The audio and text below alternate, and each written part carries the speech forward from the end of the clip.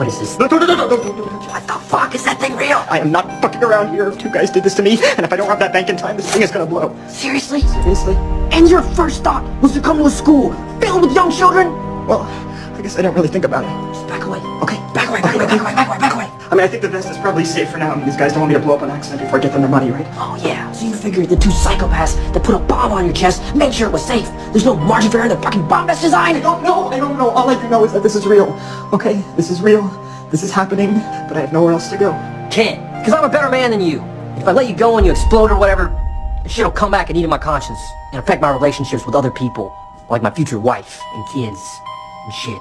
We having a picnic or something one day and I would just be like, damn it, I shouldn't have let Nick explode that time. That's a very rational way to look at the situation. And you're right about being a better man than me. Could you just walk a few feet in front of me? Yeah, I can do that. Thank you.